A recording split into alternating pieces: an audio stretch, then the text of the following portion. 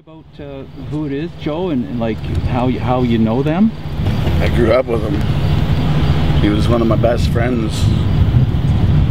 Just like family.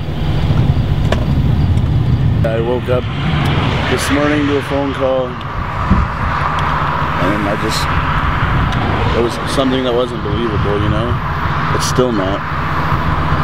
I have no idea what had happened. I just know there was a crash and that's it.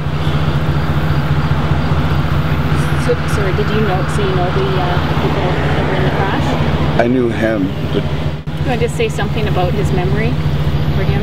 he was a good guy and he would honestly give anything for anybody, anything to help anybody. He was like one of those people that made you want to be a better person when you were around him.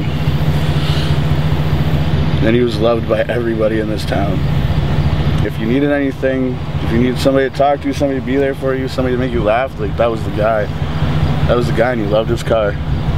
Actually, I was with his family this morning and they're still in disbelief too, I believe. Like, it's just when you if you knew the guy, it's just so hard to believe that he's not gonna be here.